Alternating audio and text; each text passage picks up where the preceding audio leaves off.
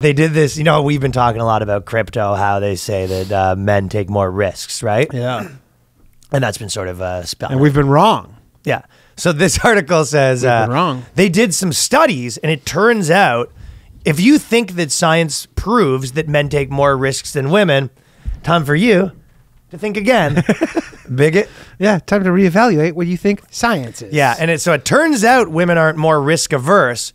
Previous studies are biased. So you're probably thinking, you know, you're listening to this at home, maybe you're at the gym, maybe you're driving, you know, and sometimes people will say that. Uh, I got a couple messages of people recently that said uh, this uh, podcast and uh, with the Patreon got them through a long drive. Yeah. Which Nice. is what you want. Fuck yeah. Yes, Good. that's exactly what you want to be. But, um, so basically, you're probably thinking at home, ah, how? And you probably won't guess. Whether you think of it as an admirable level headedness or a career cramping deficit, many people take it as an article of faith that on average, women tend to be more sober minded when it comes to risk than men what you th- I, I assume that what you're thinking is you probably think they're going to be like well actually this woman's more risky because that Yeah. is the number one argument that girls make you go you know women aren't as strong and you go my friend janice is really strong Yeah. She fucking deadlifts one plate. So. my friend janice is actually pretty strong you go oh well, on average men are taller than women you go how do you explain this woman who's tall that's I, i've gotten that argument so many times you go am i really from first principles to have to explain to you what i mean with averages yup. And you do. But what they're actually saying is how many risks do you take? Well, that depends on what you call a risk. So it's sort of defi- redefining risk. This is one of the greatest things I've ever read, by the way. I couldn't believe it. I couldn't because I was like, "You're not helping anything with this." Well, what if, what if instead of just asking about poker or bungee jumping, traditional male risks, researchers added questions about risks that women might more typically take? Things like cooking an impressive but difficult dish. Ooh, they should add uh, cooking an impressive but difficult dish for an important dinner party to the Olympics. they should do that. Oh, and the dismount, and she nailed the souffle. I've never seen anything like this. an impressive but difficult dish for an important dinner party or buying a ticket to a less reliable airline.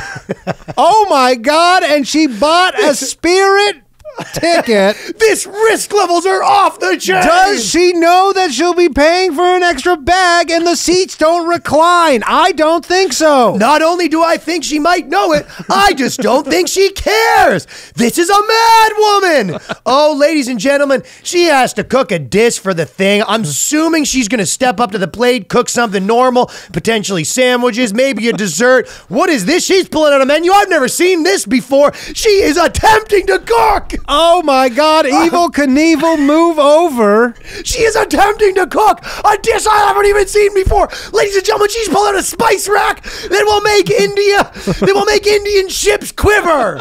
This is a risk she's taking. This lady just pulled out paprika. Paprika. what is it? Paprika. Paprika. I'm not a risky man. I'm a bugman. Yeah, I'm a bugman. Bugmen don't know that kind of stuff. Danny's a bugman, but a different bug we're talking about. Yeah, you're, you're gay, and you Jimmy. Yep. Okay, Bugman said he. Oh, this is a risky person. Ah, yeah, she goes. I'll just probably buy the flight, and you go. Well, if you buy that one, they might. Uh, you know, those airlines are a little risky. They might cancel. You go. Oh my God, she's not taking the cancellation insurance.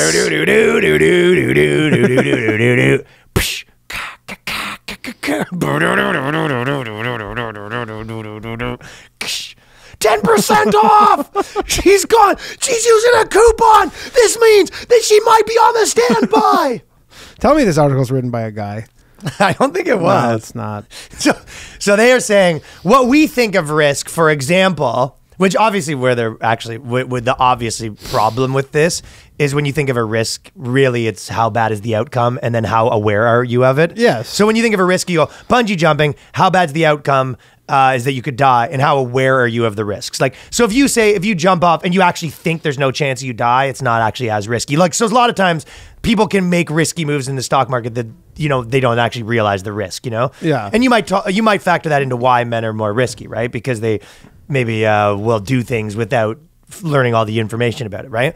But to say that uh, fucking uh, cooking a uh, risky uh, a dish is risky, you go. Well, what's the risk? You go. You might show up to the party and they didn't like your dish. Yeah, or you go, oh, you know what? I fucked up. I'm just gonna Uber Eats some food. I've, I'm embarrassed. But the that- risk is minor embarrassment. Yeah, as opposed to losing your family's fortune. or the airline thing. You're like, there's no airlines. You go, yeah, that airline. That's the one that crashes more Ah, you're dead meat. Yeah, yeah. Like, there's not an airline in America. They don't You even go- have doors. you go, yeah, you don't fly that airline. That's the one that crashes a bunch. And all the well, other you can ones take are that fine. airline, but I don't know if you know this. They don't have doors on the plane, so a little risky. One of the people, you actually, uh, one of the seats, they just tie you to a, a string and they hang you out the door. So I was thinking that probably they are making a good point. That we we are out here thinking that risk is jumping out of a jumping on a bungee thing. Walking through a, walking through a bad part of town. Walking through a bad part of a town, I'll tell you what the risk the women have to do. That's what I actually Every thought it would be. I thought there would be something like that too. And- you know what? Women are actually risky because they go on dates with men, Yeah. which is actually the most risky thing that anyone could ever do. That's honestly, that's what I was expecting. Yeah. And then they go, yeah, you might not pull off the fucking souffle, and I'm like, what? Yeah, women are very risky. You know why? Well, because women are in the presence of the number one predator in the world by choice. Men, Men. because they walk home alone at night, knowing that most of the times they're dead meat. yeah. How or, about this? or maybe not using. They could have been something where you know, like having unprotected sex without a. But they don't. That's not true that women are more prone to having protected sex. No, I'm not saying more prone, sex. but I maybe that is a riskier thing. I don't know. but know. not one the girls do more. Yeah. Right.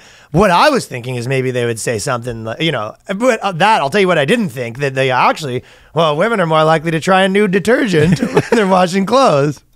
yeah, before testing it out to see if it maybe gives them a rash. Not to mention, it's like I don't think girls are risky. It's like, yeah, I think I don't even know if girls are more likely to buy a cheaper ticket on plane. From my experience, I've been the one that's kind of like, you know, let's use fucking Orbitz or some crappy yeah, thing where um, I'm they're rolling just the like dice. yeah, they're just like let's pay whatever the most expensive amount is. I girls go on expensiveflight.com. Yeah, I literally I, the amount of times I've had to be like, "What are you doing?" It's like go to this other site. You save 150 bucks. No, yeah, yeah, they don't. So I don't even believe that one. So their only one is they cook riskier dishes, which I don't think that's true either. What it's is not Inc- like some what is- cauldron where they're like one misstep and it What is explodes in the- Inc.com? Inc.com is like it's some fucking bullshit web. I don't know. It's like Insider. I don't know. It's just like one of these blogs. They're like a business. I think they started out as like a business thing.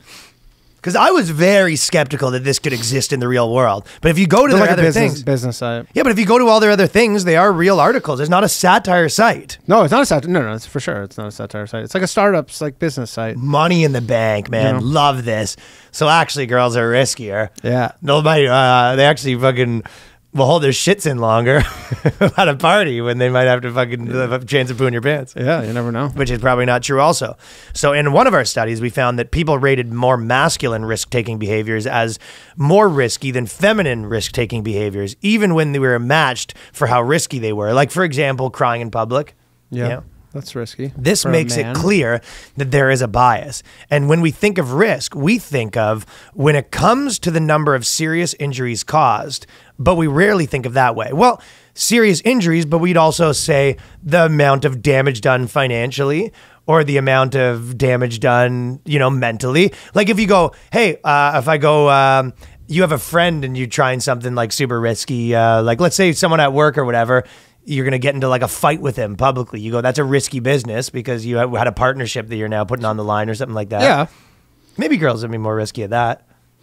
maybe girls are more risky at like blowing up relationships. yeah, for sure. Oh yeah, over like nothing. Yeah. So maybe the, with ramifications that are high. So maybe that's true. But then maybe equal because guys would get drunk and get into a bar fight and stuff like that. Yeah, but then they're like buds after they they settle it. Sometimes. girl- girls kind of get catty and then they're like, Well, then they said that, uh, and when we think of risk, we think of men and masculine behaviors, and feminine risk taking is often looked. Cheerleading, for example, is objectively one of the riskiest sports. No, it's so funny, by the way. So it says because I saw that and it goes cheerleader is the objectively one of the riskiest sports. And then if you click on the link, because there's a link, and the link goes cheerleading most dangerous sport for U.S. women. Okay. Yeah, yeah, yeah. They go, oh, cheerleading is the most dangerous sport that exists.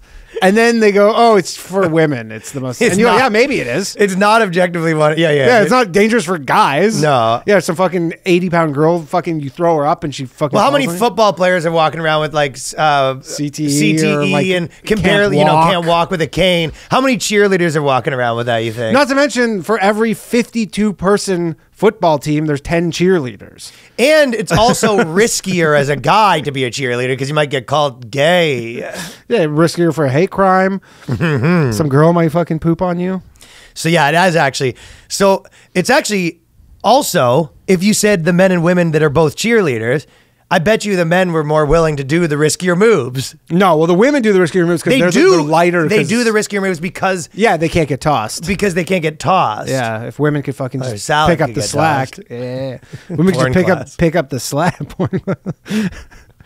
Uh, turn to chapter three. We're going to be talking about salad tossing. But that is that's one hundred percent structural. That's the equivalent of saying like Indian men are less risky than American men because they play football here and they play cricket there, and you go, no, they just that's their sport just- there. Yeah, that's yeah. just that's a, like circumstantial. Mm-hmm. That's a structural reason. There's not actually they didn't. They, if you're choosing between the two, all things remaining the same. yeah, and I mean, she purposely left out that that was. She goes objectively one of the riskiest sports when it comes to the number of serious injuries caused for women. yeah, right. It's for women. You're making the and the seem this second is for most- everybody. The second most risky sport for women is uh, not making dinner on time in Danny's household. Oh yeah, The Bugman. the bugman, bug woman. It's only by busting your existing biases that you can start to see the world clearly. And when you do, you'll probably notice women take a lot more risks than you previously believed. For example, during sex, having Danny Polishchuk on top of them. His arms, tre- being underneath Danny during sex, his oh. arms are starting to oh, tremble. Oh, they're giving out. Goes, Those are the kind of risks.